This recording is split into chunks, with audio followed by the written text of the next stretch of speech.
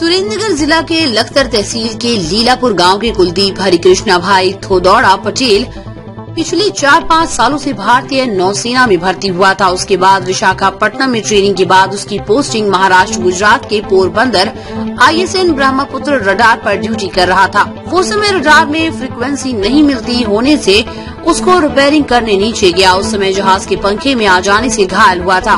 वो युवान को राजकोट, वो कार्ड अस्पताल में सारवर के लिए भर्ती कराया गया था।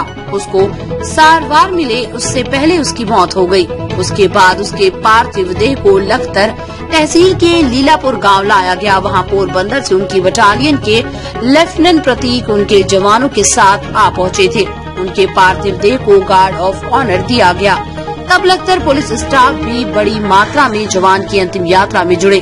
जवान को भाई न होने से उनकी बहन ने अग्नि अग्निदाह दिया और लीलापुर मोक्ष धाम के गाँव में लगे समेत आए सभी भाई और बहनों की आँखें गीली हो गई और युवान को आखिरी विदाई दी।